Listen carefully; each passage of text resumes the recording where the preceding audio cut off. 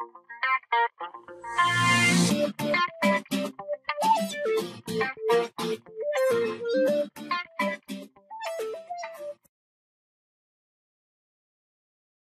friends, welcome to SarkariNaukri.asia. This is Preety and today we have a very important chapter that is boat and stream. Okay, so we have some notes over here. If the boat moves against the stream, it is called upstream.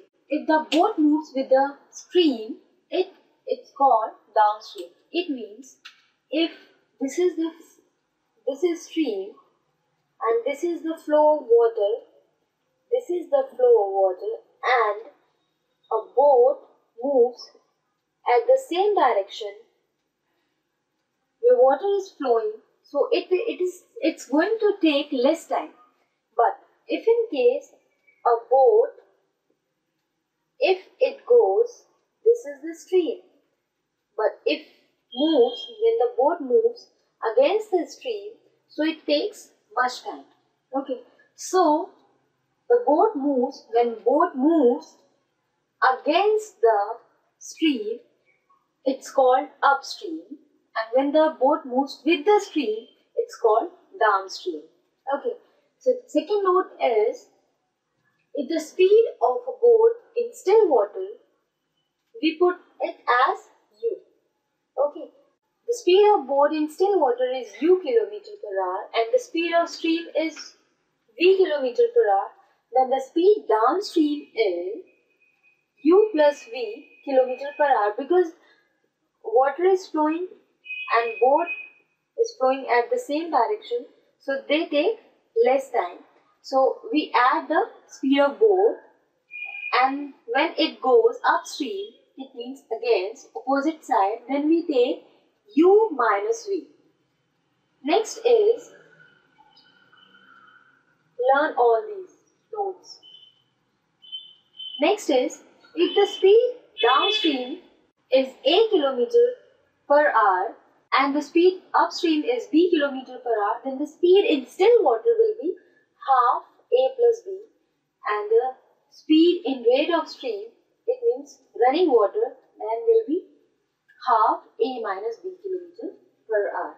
Okay, so according, based on these formula, tricks or notes, whatever you can say, we have two questions on the board so we're going to solve this question.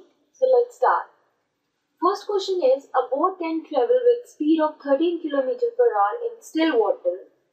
If the speed of the stream is 4 km, find the find the time taken by the boat to go 68 km downstream. So they are talking about speed downstream.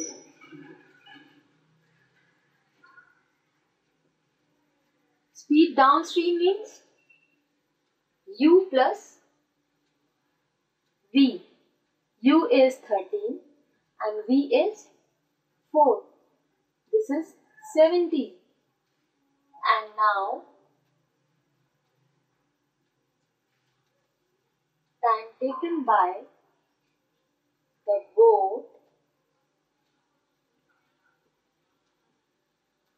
to cover 68 kilometer downstream will be 68 by 17 and we have the answer that is 4. 4 is the answer. 4 hours. This is the answer. Next question is a boat running downstream covers a distance of 16 km in 2 hours. While covering the same distance upstream, it takes 4 hours. What is the speed of boat in still water? It means